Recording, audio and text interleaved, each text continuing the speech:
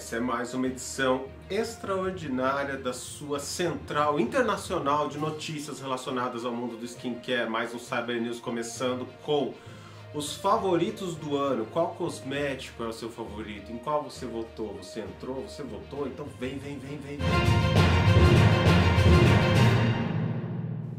Eu adoro uma abertura dramática. Vamos repetir?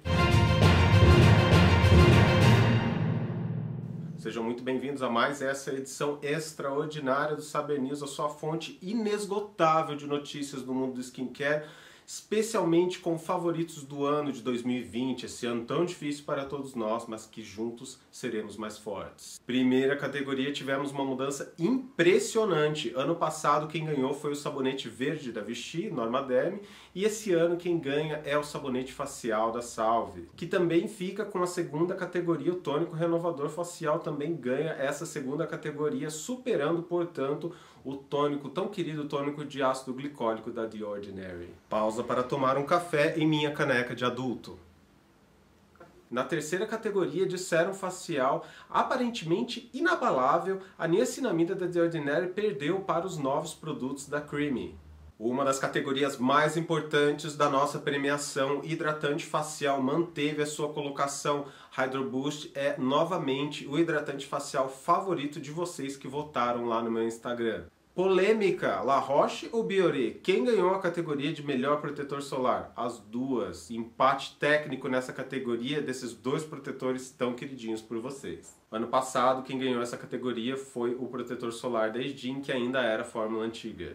Uma das categorias mais esperadas e votadas por vocês foi o principal lançamento de skincare do ano. Qual foi para você? Você está concordando com essas questões todas, com esses resultados? Deixa nos comentários a sua opinião e aproveita para ouvir agora o grande vencedor da categoria lançamento do ano, que foi a Creamy com seus novos produtos, mas também teve a nova linha de produtos para cuidados faciais do Boticário, Boutique, e também o nosso querido de muita gente, porque tem um preço bacana, o hidratante em gel da Nivea. Mas ainda assim a Creamy manteve a liderança. Na categoria esfoliante facial, mais uma vez esfoliante enzimático da Salve, Salve dando um show de premiação hoje na noite. Agora com você a categoria máscara facial, aquele momento gostoso quando a gente chega do trabalho e quer usar alguma coisa com efeito rápido que demora de 15 a 20 minutos com enxágue para usar antes ou depois do banho, mas sempre depois de lavar o rosto. Quem vence a categoria de máscara facial foi também a máscara facial Hydro Boost, que é aquela máscara que você compra no envelope, mas também tivemos Natura, a máscara purificante de Natura, quase quase no primeiro lugar, ainda assim Hydro Boost ganhou.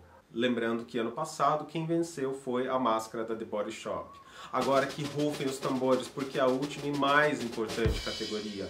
Qual a marca mais desejada do ano? Qual foi a marca que você mais desejou do ano? A marca vencedora do ano passado foi a Shiseido e impactado com esse resultado. A marca mais desejada do ano é nacional, é a Salve. Por um voto ganhou da Shiseido esse ano.